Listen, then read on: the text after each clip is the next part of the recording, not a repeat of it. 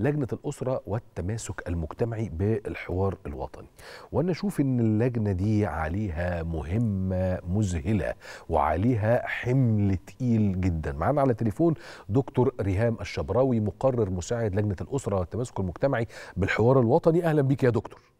أهلا بحضرتك. أهلاً. إزاي الصحة؟ كله تمام؟ الحمد لله تمام. يا رب. يعني الملف ده بالذات ملف كبير. ثقيل مهم مؤثر أيما تأثير على المجتمع المصري مما لا شك فيه.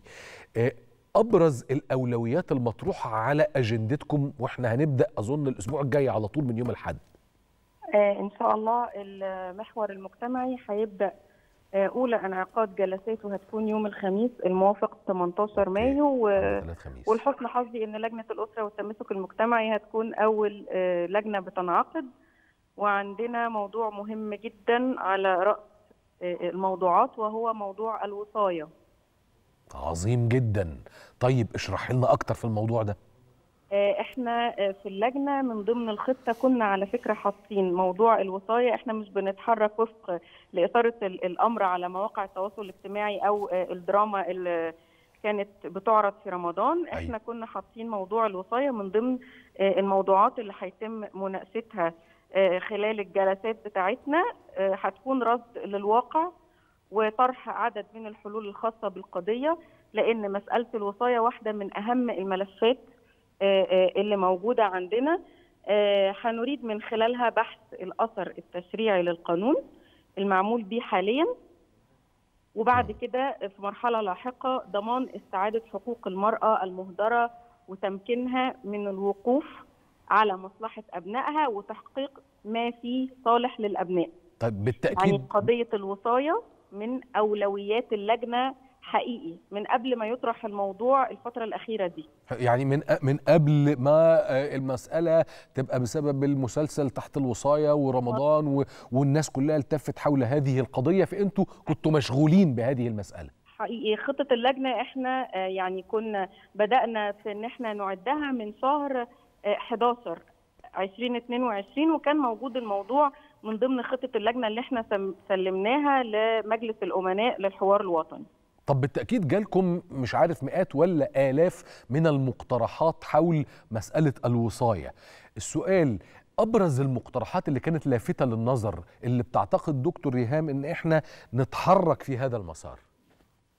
بخصوص موضوع الوصاية ولا أيوة. حضرتك موضوعات أخرى. الوصاية أولا ثم بقية الموضوعات. والله موضوع الوصاية طبعا جالنا مشاكل زي اللي أثارت في في المسلسل إن المرأة بتكون مش قادرة يعني مش هنقول تتحكم تقدر تتحرك في المسار الصحيح بالنسبة ل الورث بتاع أبنائها. يعني بمناسبة التعليم عايزة تجيب لهم حاجة خاصة بالدراسة عايزة تجيب لهم حاجة خاصة بيهم هم موضوع إن الجد هو اللي بيكون واصي ويقول آه أو لأ ده بيعيق حاجات كتير قوي في حياة الأبناء. طيب ده كده بخصوص الوصاية. طب وماذا عن بإن إحنا بنتكلم على ال ال ال الأسرة والتمسك المجتمعي؟ إحنا بالتأكيد لازم هنرجع على مسألة عقب الانفصال أي بعد الطلاق ما بين الزوج والزوجة. هل في مقترحات متعلقة بضمان حقوق الأبناء في إنفاق حقيقي طبقا لدخل حقيقي من الزوج؟ لأنه في ناس كتير تتملص أو تمثل وفي اللي بيعمل نفسه ميت زي ما بنقول كده. آه أنا عايزة أقول لحضرتك إن دي مشكلة آه 90% من السيدات آه اللي آه تم انفصالهم عن الأزواج. حضرتك قصدك ما بعد الطلاق. مظبوط. طبعا دي مشكلة كبيرة جدا وعلى أثرها المحاكم مليانة قضايا آه النفقة. يعني إحنا عندنا أكبر مشكلة بتؤرق الأسرة هي مشكلة الطلاق. ودي برضو محور لوحده عندنا في اللجنة. يعني على رأس الموضوعات هو موضوع الطلاق والآثار الناتجة عنه زي ما حضرتك بتقول عدم الإنفاق. ده يعني وضع صعب جدا ومتفاقم. هيكون إن شاء الله بإذن الله ليه حلول مطروحة وهيتناقش بشكل مهم جدا. ولازم إن إحنا نحط له حد إن شاء الله. يا إما بشكل تشريعي يعني يحصل زي استحداث مواد أو استحداث قانون جديد سواء للأسرة أو قانون الأحوال الشخصية.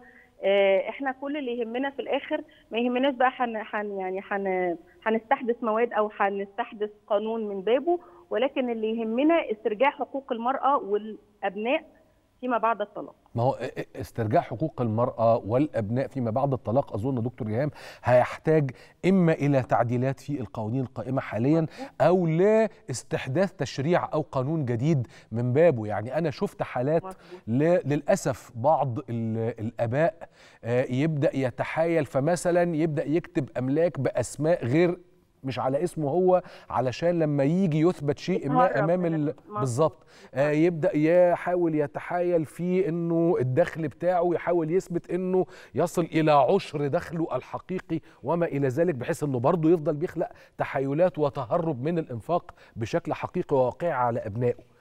مظبوط. ده اللي المفروض يطلع لنا كمخرجات إن شاء الله من خلال جلساتنا في الحوار الوطني. هتطلع زي ما قلنا قبل كده مخرجات تشريعية أو مخرجات تنفيذية أو على هيئة برامج توعوية. فده إن شاء الله بإذن الله هيكون من ضمن المخرجات الأساسي اللي هتكون لل... لل... يعني مخرجات الجلسات. أنا لو عليا اللي هيتحايل ويتهرب ويضرب ورق ده يتحبس بصراحة. بقى يعني ما إحنا عشان كده بقى بنقول يا إما إن شاء الله نستحدث قانون كده من بابه من أول وجديد يا إما لو هيحصل آه يعني استحداث مواد أو تعديلات لازم تكون آه واضحة وصريحة وقاطعة. ما فيهاش تلاعب ما فيهاش لوعة زي ما بيقولوا يعني. آه صحيح لأنه للأسف الشديد كتير جدا بيلاوع. أنا بشكرك جدا دكتور ريهام الشبراوي مقرر مساعد لجنة الأسرة والتماسك المجتمعي بالحوار الوطني.